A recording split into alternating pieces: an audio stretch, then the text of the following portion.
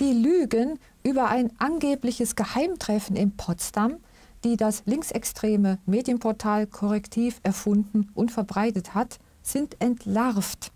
Es gab dort nie eine Diskussion über Deportationen und Vertreibung. Bleiben Sie dran, dann erfahren Sie den ganzen Skandal und warum Korrektiv trotzdem weiter lügt.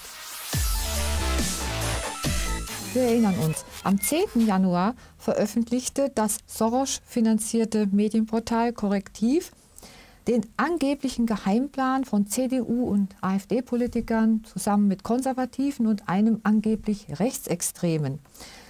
Dann wurden schwere, frei erfundene Vorwürfe erhoben über Deportation und Vertreibung. Man plane Menschen mit Migrationshintergrund aus Deutschland abzuschieben. So, und wir erinnern noch mal kurz dran mit diesem Einspieler. In einem Landhotel in der Nähe von Potsdam hat das Treffen im November stattgefunden. Über 20 Personen sind zusammengekommen, darunter mehrere AfD-Mitglieder, eine davon Bundestagsabgeordnete. Auch zwei Frauen sind anwesend, von denen nicht ganz klar ist, ob sie noch Mitglieder der CDU sind. Geredet wird an diesem Abend über einen Vertreibungsplan, berichtet das Recherchenetzwerk Korrektiv. Nicht-Deutsche sollten ausgewiesen werden. Raus sollten auch Leute mit deutschem Pass und Migrationshintergrund und Deutsche, die sich für Flüchtlinge engagieren, der Rechtsprofessor Ulrich Vosgerau, der die AfD schon einmal juristisch vertreten hat, war bei dem Treffen dabei. Es ging nicht um illegale Dinge, es ging schon gar nicht um die Austreibung von deutschen Staatsbürgern aus dem Staatsgebiet, was nicht erlaubt wäre, sondern nachdenken darüber, was gäbe es eigentlich für legale Möglichkeiten, ähm, den, äh, die Zahl von Asylbewerbern tendenziell eher herabzusetzen als zu steigern. Doch es ging darum, deutsche Staatsbürger auszutreiben, sagt das Recherchenetzwerk Korrektiv. Da ging es nicht nur darum, äh, Asylbewerber rückzuführen, da ging es nicht nur darum, über den darüber nachzudenken, wie man Ausländer ohne klaren Aufenthaltsstatus, wie man mit denen umgeht, sondern es ging auch darum, äh, wie man mit Deutschen umgeht, die man einem vielleicht nicht passt. Bei mir im Studio unser beliebter Gastkommentator André Pockenburg. Hallo. Hallo, André, ich würde jetzt gerne noch mal einfach nur zwei Ausschnitte zeigen von zwei hohen Politikern. Einmal Lars Klingbeil, der Co-Bundesvorsitzende der SPD, und dann noch der Ministerpräsident Hendrik Wüst von der CDU Nordrhein-Westfalen, die das wie fast alle aus, dem, ja. aus der Ampel aufgegriffen haben. Frau Weidel, Sie versuchen, die Deportationspläne Ihrer Partei herunterzuspielen. Abgeordnete Ihrer Partei melden sich in diesen Stunden feixend im Internet zu Wort und unterstreichen ganz offen das Ziel, Millionen Menschen aus Deutschland zu vertreiben. Und dann stellen Sie, Frau Weidel, sich hier in Berlin weinerlich vor die Presse und sprechen von einer medialen Schmutzkampagne. So, weiter geht's mit Hendrik Wüst. Es wird nicht besser wahrscheinlich. Also Korrektiv musste ja die Lügen nun von der Webseite nehmen, die die Politiker, selbst die Höchsten in unserem Land, einfach ungeprüft übernommen haben. Wir hören weiter rein. Auch wenn die Feinde der Demokratie demokratisch gewählt sind, es sind noch lange keine Demokraten. Die Würde des Menschen ist unantastbar. Es gibt Kräfte, die an diesem Fundament der Bundesrepublik Deutschland rütteln. Kräfte, die Menschen aus unserem Land deportieren wollen die unser Land zurückführen wollen in das dunkelste Kapitel der deutschen Geschichte. Kräfte, die heute leider in den meisten Parlamenten sitzen, auch in unserem Landtag. Auch wenn die Feinde der Demokratie demokratisch gewählt sind, sind noch lange keine Demokraten. Wenn führende Köpfe einer Partei rechtsextrem sind, wenn sie Nazis sind, dann darf man sie auch als solche bezeichnen. Da sind Nazis am Werk. Es ist immer das gleiche Muster. Extremisten reklamieren für sich, für die schweigende Mehrheit zu sprechen. Und in diesen Tagen wird das in beeindruckender Weise widerlegt. Ja, da diffamiert er auch seine eigenen Amtskollegen, Richtig. weil bei diesem harmlosen privaten Treffen waren ja mehr CDU-Politiker anwesend als AfDler. als AfDler, also ja. Ganz furchtbar. Ja. ähm, geifert auch diese Lüge nach, dass äh, Deutsche mit Migrationshintergrund deportiert werden sollen ja, und dass ja. die AfDler alle Nazis sind. Richtig. Also es ist ja wirklich furchtbar. Also, André, es ist zwingend, diese Lügen aufzuklären. Ganz genau. Und es ist schon wirklich furchtbar, dass das wirklich so äh, ohne nachzuprüfen, ja. den Sprung in den Bundestag äh, geschafft wird, dort wirklich willig aufgegriffen, weiterverbreitet, nochmal äh, dramatisiert wird, die Nazi-Keule wird rausgeholt. Und ich glaube, nach dem, was wir aber heute wissen und jetzt auch gleich noch besprechen werden, äh, soll man den Begriff Recherchenetzwerk bei Korrektiv wirklich sein lassen. Also ja. Korrektiv ist ein Lügennetzwerk ja. und das werden wir, glaube ich, jetzt auch mal klarstellen. Ja, weil es hat viele, vor allem auch Menschen mit Migrationshintergrund, stark verunsichert. Und äh, wir zeigen jetzt erstmal kurz einen Ausschnitt aus der ARD-Sendung mit Herrn Schönbohm, was den Vertrauensverlust angeht. Das Interessante ist ja, dass ähm, diese Demonstrationen zu einem guten Teil von Institutionen veranstaltet werden, mhm. die einen massiven Vertrauensverlust erlitten haben. Kirchen rufen Kirchen. auf, Gewerkschaften, mhm. Parteien, nicht die AfD natürlich. Ja, und dazu gibt es auch eine Zuschauerfrage. Mhm. Nachdem diese riesigen Demos von den Kirchengewerkschaften, vielen Vereinen und so weiter initiiert und inszeniert und finanziert wurden gegen rechts, hat dann sich hier ein Zuschauer gemeldet. Axel Mayer. Herr Mayer, bitte. Ja, guten Tag. Diese Regierung macht eine Politik gegen das Volk. Das Volk lehnt die Regierung ab, möchte Neuwahlen und äh, die Regierung ist nicht bereit, ihre Politik zu ändern. Und nun müssen die Meinungsmacher dieses rot-grün versifften Systems hin. Darf ich Sie, Herr, Herr Mayer, Entschuldigung, lassen Sie uns bei einer, äh, bei einer anständigen Sprache bleiben, bitte. Also ne, das Volk, die Befragten in der Tat sind extrem unzufrieden mit der Bundesregierung, aber äh, möchte einfach vermeiden, dass wir so ein bisschen abrutschen von der Sprache her. Bitte, Sie haben das Wort, Herr Mayer. Nun, wie stehen Sie denn dazu? Ich bin der Meinung, dass hier die bezahlten Medien, die von der Regierung bezahlt werden, entweder durch Zwangsabgaben für das öffentlich-rechtliche oder durch diese zweifelhafte Institution, die das sogenannte Geheimtreffen aufgedeckt hat, dass die nun die Meinung in der Bevölkerung ändern wollen. Ja, klare Frage, Herr Mayer, danke. Klare Frage. Wer möchte dazu was sagen? Ich sage gerne, ich sage gerne was dazu. Ja. Ähm, also wir werden, es, es gibt keine, äh, keine Systemmedien, das ist ein gern gebrachter Vorwurf, das ist aber Unsinn.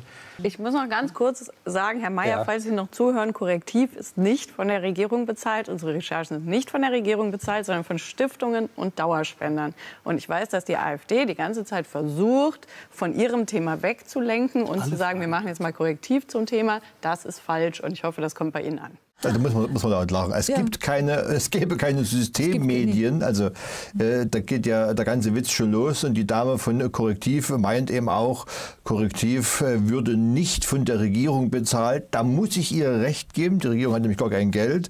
Der deutsche Steuerzahler darf es bezahlen, Richtig. diesen ganzen Schmutz. Ja. Und der Herr Mayer, gerade die gestellte Frage war sehr interessant und aufschlussreich. Also ich persönlich lehne zwar den Begriff äh, äh Rot grün versifft ab, weil ich mich gar nicht auf das Niveau von eines, eines Sigmar Gabriel und so herabbegeben möchte. Aber der Inhalt der Frage war vollkommen richtig. Das Volk möchte diese Regierung nicht mehr. Und ist es denn nicht so, dass diese staatsorchestrierten, mit Lügen aufgebauschten Demos, die wir jetzt gerade gesehen haben, einfach nur dazu da sind, die Stimmung wieder zu kippen, weil die ja. Obrigkeit merkt, das ja. Volk steht nicht mehr hinter ihr. Und da hat der Herr Mayer völlig recht. Ich glaube, die Antworten waren auch sehr aussagekräftig. Ja.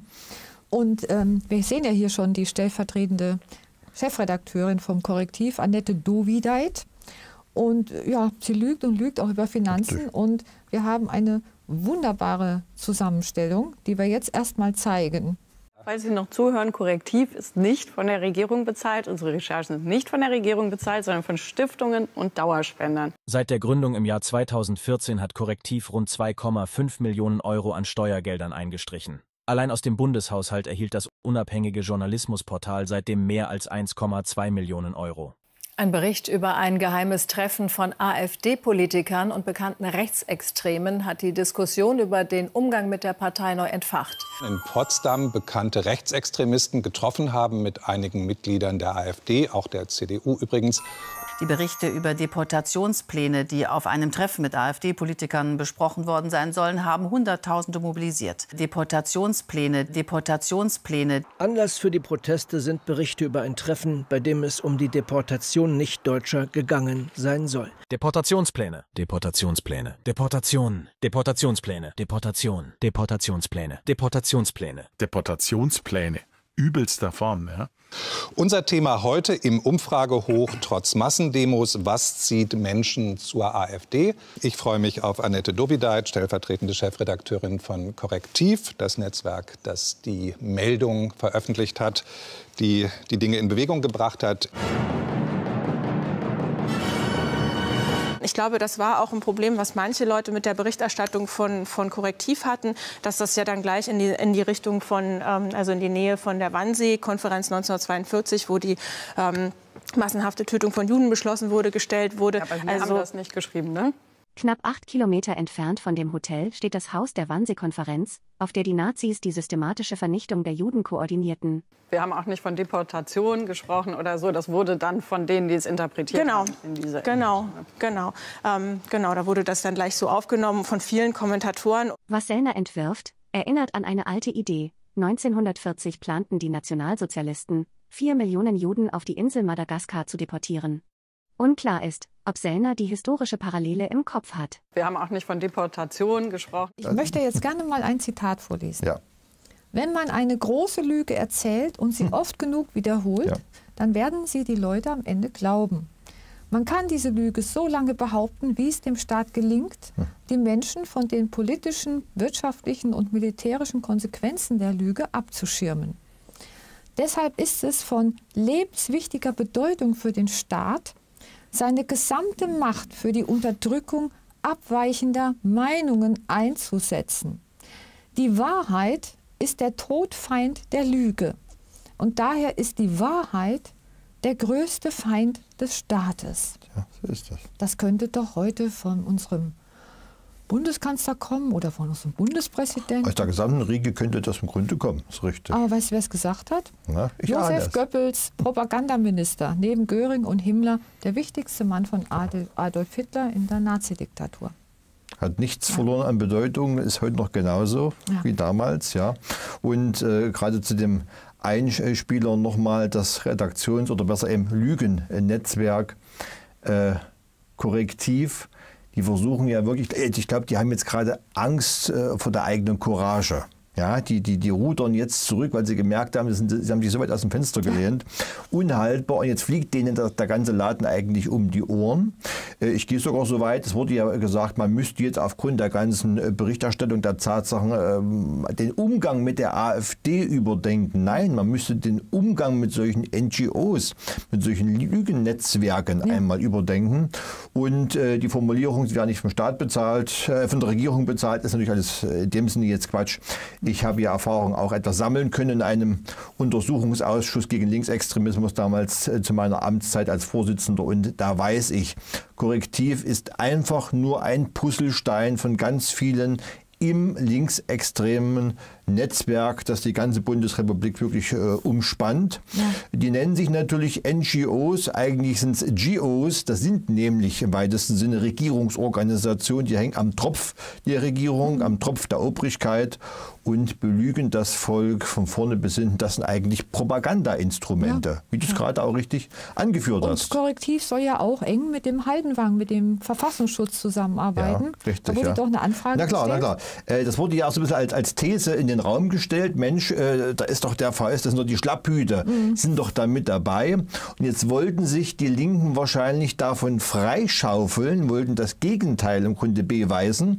Und da haben doch zwei Abgeordnete äh, der Linken, nämlich Martina Renner und André Hahn, eine Anfrage gestellt äh, im Bundestag und wollten natürlich jetzt herausfinden, dass das nicht so wäre, dass die Schlapphüte nicht dabei sind. Und die Antwort ist ganz interessant. Äh, da tauchen Formulierungen auf, dass der Erkenntnisstand zur Veranstaltung am 25. November 2023 in Potsdam aufgrund entgegenstehender überwiegender Belange des Staatswohles nicht erfolgen kann. Also keine Antwort, keine klare Antwort darauf. Oder es wurde äh, gesagt, dass im Grunde eine äh, geheimhaltungsbedürftige Information es sei und deswegen nicht weiter geäußert werden darf. Oder es wird gesagt, dass ein das von gravierenden äh, Nachteilen für die wirksame Aufgabenerfüllung der Sicherheitsbehörden auszugehen wäre, wenn man da frei antwortet. Das heißt, man hat sich rundherum gewunden. Wäre der VS nicht eingebunden, hätte es in der Antwort ein klares Nein gegeben. Äh, das, was hier abgeliefert wurde, dieses Winden wirklich, ist im Grunde genommen ein klares Ja. Nicht mehr und nicht weniger. Der VS ist involviert und es zeigt einmal ganz klar eine abgekartete Sache. Die ja. Obrigkeit unternimmt alles, ja. um Konkurrenz auszuschalten. Und ja. mehr geht es gar nicht. Und du hast auch noch ein bisschen recherchiert. Hier haben wir auch noch mal einzelne Finanzierung aus der Bundeskasse vom Steuerzahler ja. als Bundesregierung finanziert, auch korrektiv, hat sie auch wieder gelogen. Ne? Gelogen, in jedem Punkt, richtig. Und das, Und das ist, noch, das, ja. äh, genau, also das fand ich besonders ja. unverschämt. Äh, das ist kursiert gerade im Netz herum, wird von linken und linksextremen Seiten benutzt, um quasi die ganze Sache noch mehr zu dämonisieren Furchtbar, und aufzupuschen. Und man darf, man darf wirklich mal lesen hier unten, Direktorin Bildungsstätte Anne Frank. Hat das auch ungeprüft es, übernommen? Ungeprüft und es wird dieses nie wieder natürlich mhm. gebracht. Das heißt, äh, diese Konferenz dort wird wirklich eins ja. zu eins ja, als neue Wannsee-Konferenz dargestellt. Man missbraucht sogar den immer wieder groß thematisierten Holocaust, äh, verwendet wirklich das dafür und das ist schon beschämend. Also das ja. ist wirklich eine Verharmlosung der ganzen äh, Geschichte, auch ja. in beschämender Art und Weise, dass man wirklich so weit geht, Zeit, ja. ungeprüft diesen Müll und diesen Mist nachzuplappern. Und dann noch zum Holocaust-Gedenktag. Und zum Holocaust-Gedenktag, also das einem, sogar noch äh, zu missbrauchen. Ja. Das ist schon unverschämt und perfide. Ja, das stimmt. Und ähm, wir haben auch hier noch ein paar Zitate, die müssen wir jetzt nicht groß ausbreiten, dass es nur um illegale Migration geht, zu der auch der Kanzler Scholz sogar gesagt hat, Jetzt müssen wir doch abschieben, auch Nancy Faeser sogar, die ja auch als linksextrem gilt, und Christian Lindner, also einige aus der Ampel, weil sie es auch nicht mehr bezahlen können. Ja. Also und Steffi, man könnte ja sagen, auf der Konferenz wurde ja eigentlich nur überlegt, wie man das, was ja selbst Regierungspolitiker selbst gefordert haben, irgendwann mal rechtsstaatlich umsetzen ja. könnte. Also besser geht es doch gar nicht. Ja. ähm, es geht ja auch hauptsächlich um unseren österreichischen Kommentator, dessen Namen wir hier nicht nennen. Wir wollen hier auf YouTube noch ein Weilchen überleben. Ja. Und der hat uns ähm, eine Stellungnahme geschickt. Wir haben ihm auch eine Edition gewidmet, die wir auch nicht einblenden können. Und ja, leider ist es so mittlerweile. Mhm. Ein brillanter Denker. Mhm, ja. Ähm, wir kennen ihn ja persönlich, ein ganz, ganz kluger Kopf. Ja, und er hat diese ganze Lügenkampagne ganz brillant analysiert. Nur mal ein kleiner Auszug. Das Superwahljahr 2024 verheißt große AfD-Wahlerfolge. Nur mit miesen Tricks und Verboten wäre der Aufstieg der Blauen noch zu stoppen. Ja. Dann Richtig. wird auch dargelegt, wie auch von dem Staatsrechtler, von dem CDU-Mann sogar, äh, Vosgerau, der auch eben im Film zu sehen war, dass das Ganze bis in die letzte Pore durchgeplant und inszeniert war. Warum der Fokus auf die Remigration? Ein Superwahljahr dominiert vom Migrationsthema das ist ein aufge, äh, aufgelegter Elfmeter für die Idee der Remigration. Ja. ja. Und dass eben nur die patriotische Opposition Lösungen hat, ja, was ja auch immer mehr Menschen klar wird. Richtig, und ja. dass eben dieser Schlag von Potsdam, diese ganzen Lügen, ein Doppelwumms waren, der ähm, einmal die AfD vernichten sollte und natürlich auch die Remigration als Idee aber es hat nicht funktioniert. So eine massive Lügenkampagne, die funktioniert ja auch nur kurzfristig. Ja, hat natürlich ja. erstmal auch Menschen auf die Straße gebracht. Ja, Aber es hat äh, auch doch viele dazu gebracht, sich mit unserem österreichischen Kommentator, ich muss wirklich aufpassen, dass ich den Namen nicht sage, genauer zu befassen. Und er ist auf der Bestsellerliste hochgerückt. Gestern Abend noch auf Platz 175 heute schon Amazon Bestseller Rang Nummer 21 und es geht noch weiter nach oben. Ja, ja. also viele setzen sich jetzt mit ihm auseinander. Aber äh, Steffi, ist doch wirklich kurios, dass der deutsche Verfassungsschutz zusammen äh, mit einem äh, linksextremen Lügennetzwerk dafür gesorgt hat, äh, das wollten sie garantiert nicht, dass der Begriff Remigration in aller Munde ja. ist, neu diskutiert wird und auch die Notwendigkeit äh, dazu logischerweise auch mal neu diskutiert wird und dass die ganze Sache wirklich, also dieser, dieser Schund, der hier im Grunde abgezogen wurde, mhm. dermaßen nach hinten losging. Ich glaube, besser konnte es gar nicht sein. Und und auch unser äh, wohlbekannter äh, österreichischer Autor wird sich jetzt sagen, Mensch, warum machen die für mich den Market, das Marketing eigentlich? Ja. Ja. Und haben das Ganze nochmal richtig gepusht. Ja. Ist ja auch als Begriff Unwort des Jahres sofort geworden, Remigration. Ja, also ich glaube, besser ging es doch gar nicht. Ja. Der Schuss ging nach hinten los. Der ging nach hinten los und was äh, mich auch freut, dass es viele dazu gebracht hat, sich wirklich mal mit ihm auseinanderzusetzen, auch wirklich mal zu lesen, was schreibt er eigentlich und ja. auch mal in das Wahlprogramm der AfD rein. Richtig, auch, auch, da ja. programmatisch mal zu informieren, weil äh, man Den fragt ja, ist das denn so, ist das nicht so? Und ja, du hast vollkommen recht, es ist natürlich so, es, es, haben, es waren erstmal hunderttausende Menschen auch verunsichert, ja, ja gerade auch mit Migrationshintergrund, die seit Jahrzehnten hier leben, die Teil des deutschen Volkes sind.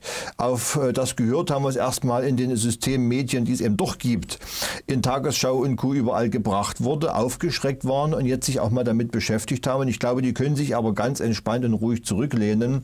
Es war im Grunde nur eine Ansammlung von Fake News, die hier verbreitet wurden. Ja. Und ich finde es auch so perfide, ja, also korrektiv, äh, dieser Begriff, ja, der suggeriert den Menschen, ja, hier soll etwas korrigiert ja, werden, ja. hier sollen falsche Nachrichten beseitigt werden, es soll die Wahrheit ans Licht gebracht werden. Und gerade die, die das von sich behaupten, sind nichts weiter als selbst ein riesengroßer Lug- und Trugverein. Und ich frage mich immer wieder, wieder, wie sich wirklich Menschen äh, davon noch beeinflussen können, wie verblendet oder, tut mir leid, verblödet man sein muss, diesen äh, medialen Dreck auch noch zu fressen. Ja, Psychologie der Massen, ja. Gustave Le Bon. Ja. Und äh, das scheint der Josef Goebbels, einer der besten Männer Adolf Hitlers, auch gelesen zu haben. Und wir haben, was jetzt die Propaganda angeht, mhm. eine ähnliche Situation, vielleicht sogar die gleiche. So ist es leider. Ja, und äh, zu unseren großen, großen bundesweiten Bauernprotesten schreibt das Korrektiv, die sogenannte Unterwanderung, wie Rechte und Verschwörungsideologen die Bauernproteste für sich nutzen. Ja, es ist ein Volksaufstand. Richtig, genau, ja. genau. Ein Volksaufstand und natürlich sind dort Rechte dabei. Ich gehe so weit zu sagen, jeder Bauer, der es ehrlich meint, ist ein Rechter. Der ist nämlich heimatverbunden, der möchte ja. sein Land, seine Familie schützen.